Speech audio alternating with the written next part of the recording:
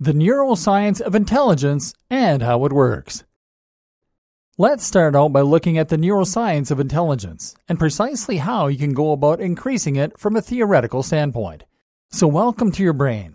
Here, you have a massive interconnected web of neurons, which we collectively refer to as your connectome. Think of this like the world's largest mind map, except that it is made from billions of connections. Each of these neurons represents an experience, an action, a memory, or a qualia.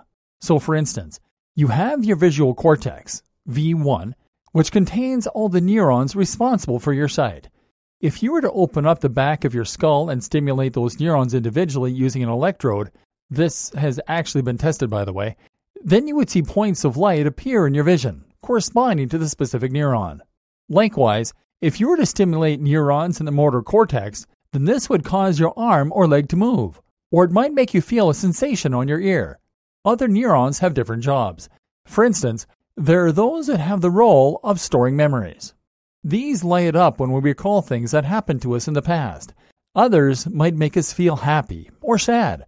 Others might represent aspects of our personality or our ideas. These are grouped into clusters in the brain or brain regions, which is why brain damage can end up knocking out very specific abilities or altering our personalities. And at any given time, multiple brain areas will be active, representing the way in which your brain is being used. So you might have activity in your visual cortex because you are processing the things around you, but you might also have activity in your hippocampus relating to memories associated with the things you're seeing. And you might have activity in your prefrontal cortex as you make plans as to what you're about to do. Neurotransmitters. The neurons are connected via long tails and branches called axons and dendrites.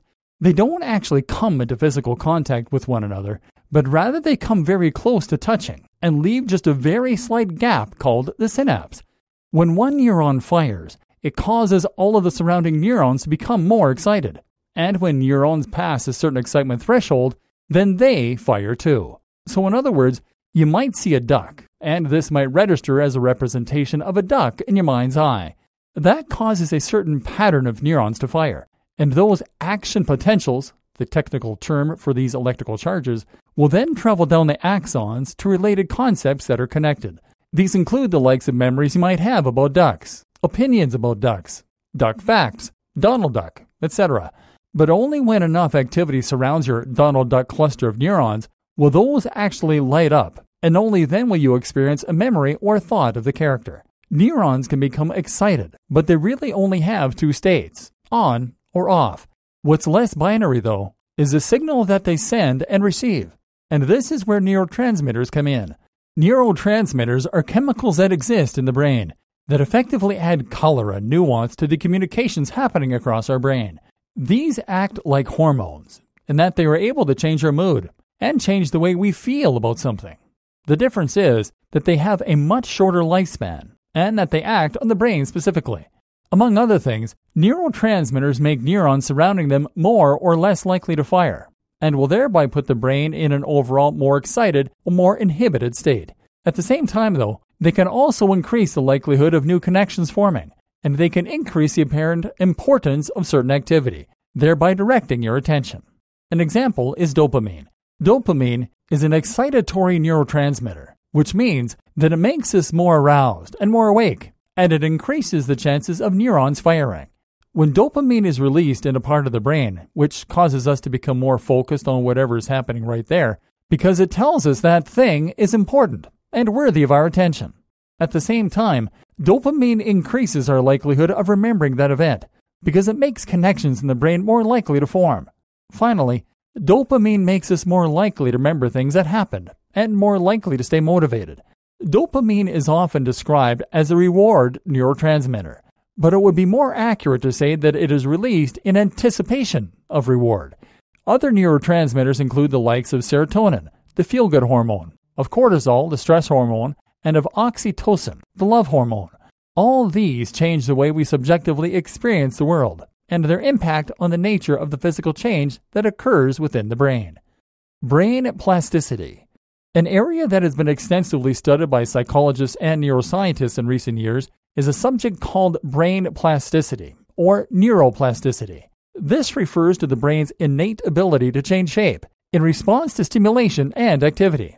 So previously, we believed that the brain was a set shape once we reached adulthood and that it wouldn't change any further. What we now know, however, is that the brain continues to grow and adapt as we get older, and that it is constantly forming new connections and even birthing new neurons. In studies, it has been shown that repeatedly engaging in a specific activity will cause the corresponding brain area to change shape.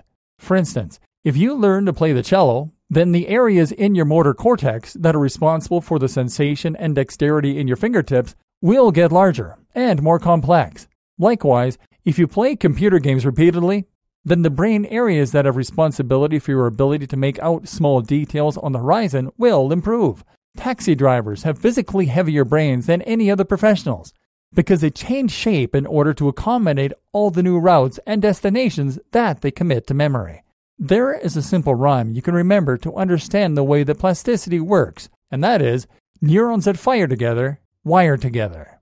In other words, if you continuously repeat the same action over and over again, that eventually the corresponding neurons will wire so that you have committed that sequence of movements to memory. If you eat a lemon every time you see a certain picture, then you will eventually associate the picture and the lemon so that seeing the picture causes you to get a bitter taste in your mouth. The corresponding neurons fire at the same time so often that they now have a connection, and now activity in one neuron will increase the chances of the other firing. What's more is that repeating this connection will reinforce it over time. This occurs via a process called myelination, which basically means that the axons are being insulated to protect them against damage and to help the signal to travel more quickly and more efficiently from one neuron to the next. This is how we learn new subjects, and it's why someone who has serious memory loss can sometimes still perform tasks like playing complex piano concertos. They simply repeated the movement so many times that they became highly myelinated and protected what to do with all this information. That's a lot of information to take in, and you might be wondering what it's all for. Well, rest assured that this information is important, and we have tackled it for a reason. That's because knowing the way your brain works is what is going to allow you to increase your IQ through training, diet, and more. Hopefully, you've already seen some opportunities for us to maybe tweak and enhance your brain performance. For instance, increasing dopamine can boost our memory and our focus. Likewise, you might have guessed that increasing the rate of brain plasticity might also be a very positive thing. And those are exactly the topics we'll be tackling in the coming sections of this training. So keep reading and get ready to enhance your brain power. For more free educational content, visit learnforfree.biz. Content produced and distributed by AllSuperInfo.